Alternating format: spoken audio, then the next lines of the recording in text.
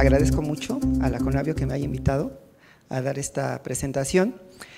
Eh, está un poco triste porque las otras, los otros días que había venido, incluso este, hay muy poca gente en, en este espacio, pero ya nos lo comentaste, de que hay cerca de 2.000 personas que nos están viendo, así que este, ya eso me pone un poco más contento, ¿no? De que haya más gente que conozca estos temas, ¿no?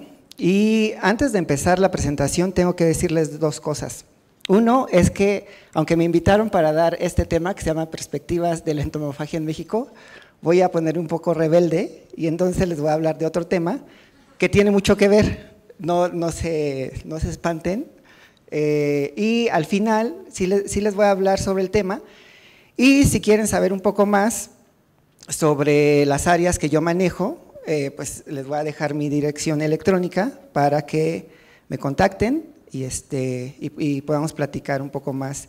O sea, 15 minutos, ya me los estoy gastando, pero 15 minutos es muy poco para hablar sobre este tema y sobre el tema que, que acabas de manejar hace rato, ¿no? Este, y aparte de eso, la, otra segunda cosa que les quiero este, compartir, y ya me estoy saliendo de mi área, es que traje unos botecitos de insectos y este, si me puedes ayudar, entonces, bien fácil, los abren y se los comen y ya después este, podemos ver si están muy ricos y justo para hacer un poco más interactiva esta idea de los que no han comido insectos, pues este, puedan, puedan degustarlos, ¿no? Y como somos bien poquitos, también esa es otra cosa que está, este, bueno, la idea, ¿no? Mientras este, menos burros, más nos toca chapulín. Miren, como les comentaba, o sea, no, no, quise empezar con este tema de la entomofagia en México sin antes abordar unos temas que precisamente tienen que ver, a ver, voy a intentar, sin antes abordar estos temas que justamente son las bases de la novena semana de la diversidad biológica, es decir, nuestra diversidad, nuestra alimentación y nuestra salud. Nosotros en los últimos años hemos hecho investigaciones al respecto y justamente es, lo que les vengo a platicar en esta primera parte de, la, eh, de esta plática. ¿no? Entonces, esto, nuestra diversidad y nuestro ambiente. ¿Qué pasa o qué ha pasado en los últimos 40 años, desde la década de los 70 hasta 2015, con algunos parámetros que son muy importantes para determinar la salud del ambiente? Entonces, en esta primera gráfica lo que nosotros hicimos fue tomar eh, diferentes bases de datos, en esta particular eh, de, la, FAO, donde nos dice que el cambio de uso de suelo ha eh, cambiado drásticamente desde los años 70 hasta, nuestras, hasta 2015. Cambio de uso de suelo quiere decir que estamos cambiando selvas y bosques por zonas agrícolas y básicamente eh, policultivos, ¿no? Entonces, este, desmontamos Amazonas y este, sembramos aceite de palma, ¿no? Y entonces estas cifras más o menos son en términos de millones de, de toneladas, de hectáreas, ¿no? Estamos hablando de unas 200 millones de hectáreas que se ha cambiado de ser selva y bosque a eh, eh, zona agrícola de policultivo. ¿Y qué pasa, por ejemplo, con los gases de efecto invernadero y con el uso, el consumo y producción de fertilizantes? Entonces, en los últimos 40 años también ha habido un eh, un aumento muy drástico, que si lo ven, eh, la, la, emisión de CO2 va más o menos a la par de la producción de los fertilizantes. Eh, esto es, estas gráficas son a nivel mundial, no, no, es, no particularmente para México.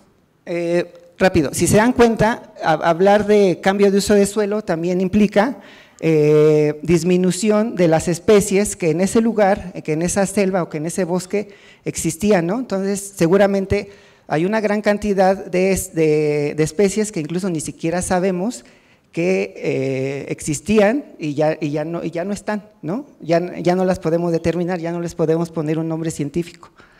En nuestra alimentación, ya ya lo han comentado, pero en términos de datos es súper importante que vean esta gráfica y, se emocionen, pero de manera negativa. Entonces, antes, eh, el principal producto eh, alimenticio o el, principal producto agrícola era maíz, ¿sí? Y ahora, en, en estas fechas, es caña de azúcar, ¿sí? Entonces, caña de azúcar en términos de biomasa, en términos de toneladas, es el producto que más tenemos eh, de manera difundida en los agrosistemas. ¿sí? Y le sigue maíz, le sigue trigo y le sigue este, arroz. Pero estas, esta batería de más o menos 15 distintas especies son las que nutren al mundo. ¿sí? El 90% de la población mundial se nutre con básicamente 14 especies de plantas. ¿sí? Y en términos de animales, lo que más se consume es la, leche, seguida por la carne de, puerco y eh, seguida por la carne de búfalo y con la, y con la carne, perdón, con la carne, sí, con la carne de vaca y después con, la, con, el, con el pollo. Y entonces, esto es lo que observamos desde los, desde los años 70 a 2015. Eh, la caña de azúcar es lo que ven en verde y fíjense cómo ha aumentado su producción a lo largo de estos 40 años. Y esta línea en, azul es la producción de aceite, ¿no? Y esto tiene un poco que ver con esto que les pongo.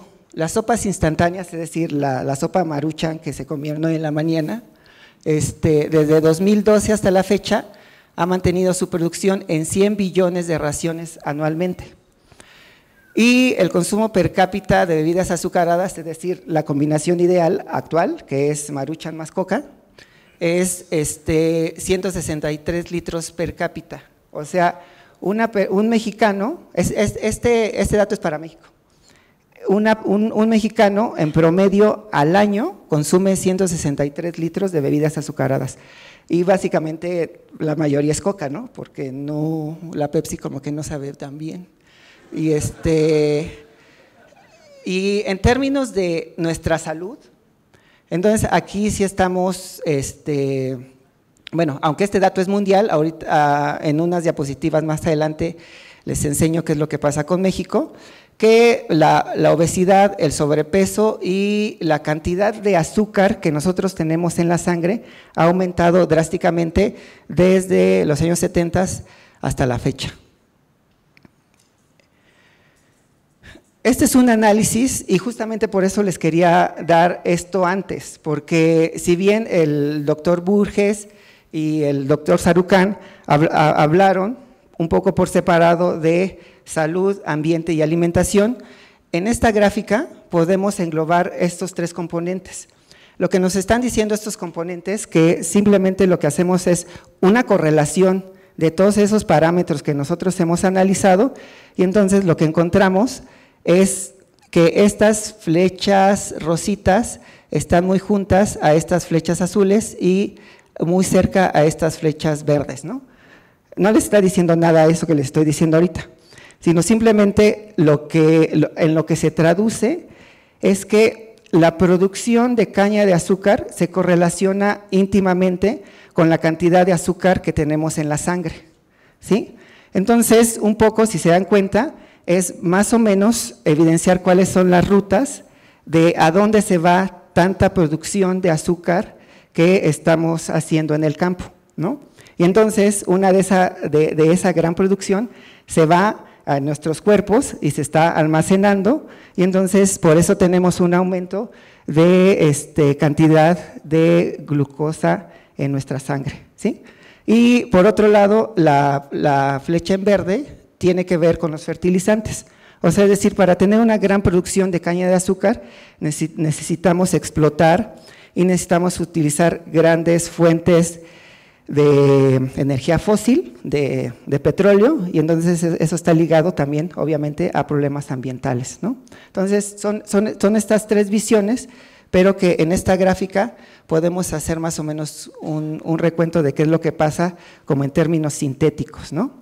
Este, no estamos diciendo o proponiendo una relación causa-efecto, pero si hay este tipo de correlaciones, este, lo más seguro es que eso exista. ¿no? Para México, eh, aunque no somos el primer lugar en sobrepeso y obesidad, perdón, o sea, este, pero para allá vamos, o sea, es decir, seguramente para allá vamos. Lo que sí somos el, el, primer lugar, y se, lo pongo, y se los pongo así como, México es el primer lugar en, ¿no? uno, quisiera que fuera el primer lugar en, en, el, en fútbol, ¿no? O sea, que, que, FIFA, ya después de haber ganado un mundial, este, pudiéramos ser primer lugar este, eh, de acuerdo a la FIFA. Pero, entonces aquí ya les pongo que es, el primer lugar en muertes por diabetes, ¿no? Entonces, cuando empezamos a hacer este análisis, eh, veíamos que China e India es el que más muertes por diabetes tiene, pero China e India, este, en términos poblacionales, es mucho más grande que nosotros. ¿sí? Entonces, ya cuando hacemos una tasa de mortalidad, que es por cada 100 mil habitantes, resulta que no, que la tasa de mortalidad es mayor en México, este rojo, véanlo así claramente, que eh, cualquier otro país, ¿no? Todos estos datos en realidad están un poco subestimados y aunque aquí tenemos 80 muertes por cada 100 mil habitantes, seguramente esa cifra es, es, es un poco mayor, ¿no? Entonces sí, está muy mal. Pero entonces, este, a lo mejor esta parte de la presentación los estoy deprimiendo mucho, pero hay como superhéroes, ¿no? En este caso, este, esto es, ¿no? Y, es un poco lo que, lo, que platicabas en, la, eh, hace rato, de, o sea, el superhéroe es toda la biodiversidad ancestral que hay en el país, ¿no? No hay otra. Entonces, lo que nos pusimos a hacer desde hace más o menos unos tres meses, que nos ha costado mucho trabajo, pensamos que, era, que iba a ser muy difícil porque Conavio ya tenía las bases de datos, y sí las tiene. Y de hecho, casi toda esta información es basada en las bases de datos de la Conavio, pero esta ya es más o menos una síntesis de todas las especies comestibles que hay en México y las categorizamos no solamente por región, sino por eh, si son eh, peces, incluso si son peces de agua dulce o si son peces marinos y en qué región están. También, obviamente, ya de los que les voy a hablar, de los insectos, que parece ser que sí hay cerca de 500. Es lo que la, doctora Julieta Ramos Elorduy, que es la eminencia incluso mundial en este tema, eh, rescata que hay 500 especies. Entonces, un poco una, no es una, contradicción. Nosotros eh, hace en el 2012-2013 hicimos un recuento de que sí son 500, pero en realidad también son 350, porque hay unas que en realidad no, se utilizan de manera frecuente y no tienen una relación muy íntima con los pobladores. Por ejemplo, eh, mosca doméstica, ¿no? aunque puede ser comestible, en realidad no hay ninguna etnia que se coma la mosca como tal, ¿no? Entonces, aunque pueda ser un poco menos de 500, en realidad ya decir 350 especies de insectos que se comen en el, país es bárbaro, considerando que solamente nos alimentamos el 95% de toda la población mundial se alimenta de 14 especies, ¿no? Entonces tenemos así un mar, y donde más tenemos diversidad es en el centro del país, ¿no?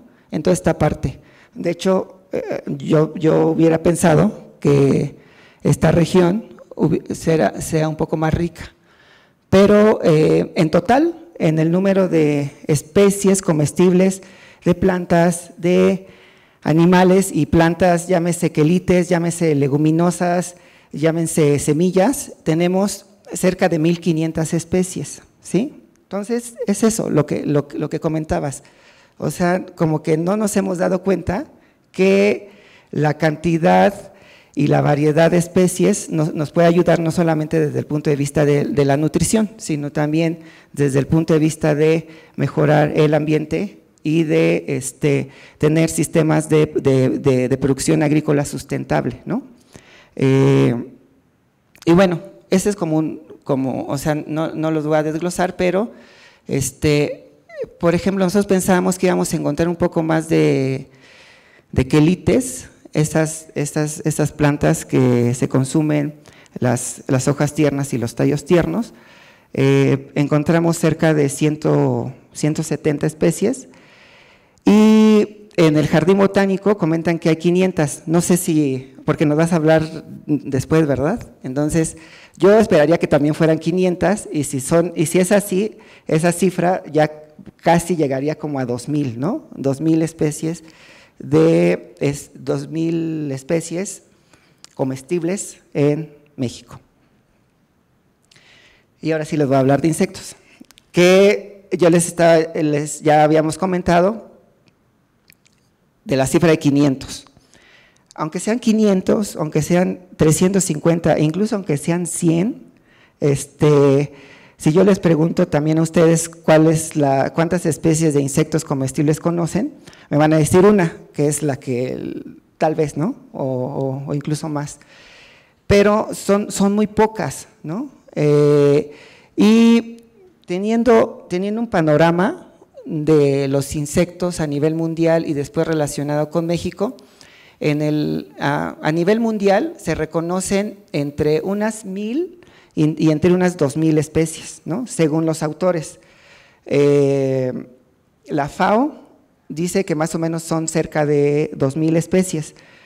Los trabajos que nosotros hemos hecho dan más como a que sean mucho menos, porque hay sinonimias, y hay, este, como les digo, algunas otras que en realidad no se, no, se utilizan de manera habitual. Entonces esas tampoco las podemos considerar porque no tienen una, una, costumbre como tal. ¿no?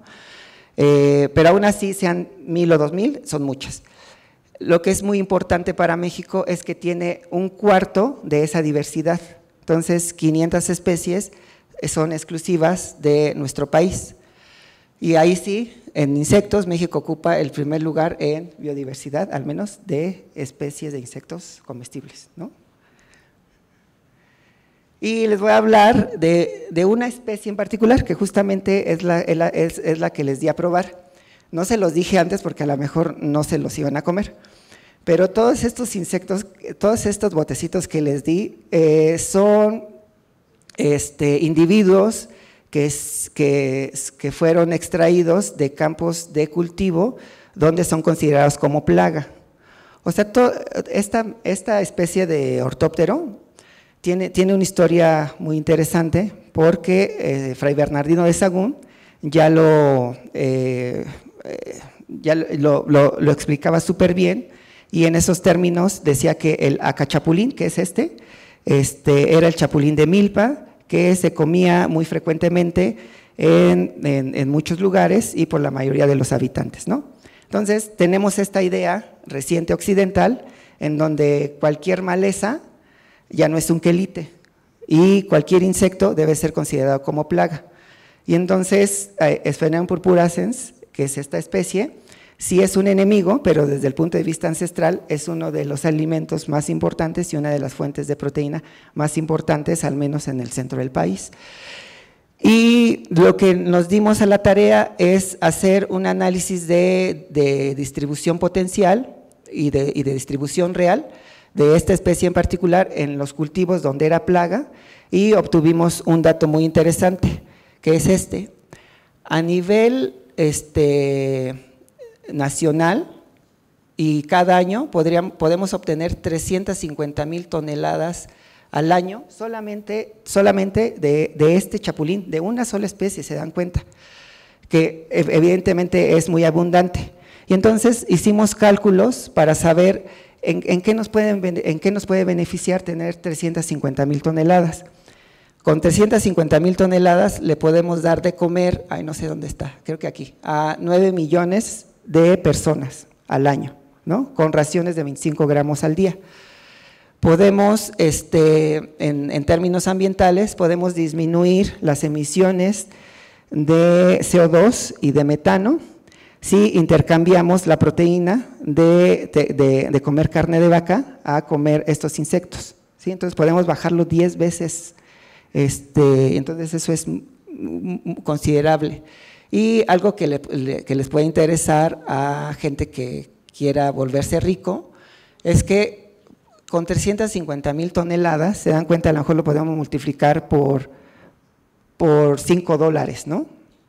Entonces eso nos da cantidades a niveles de millones y millones de dólares.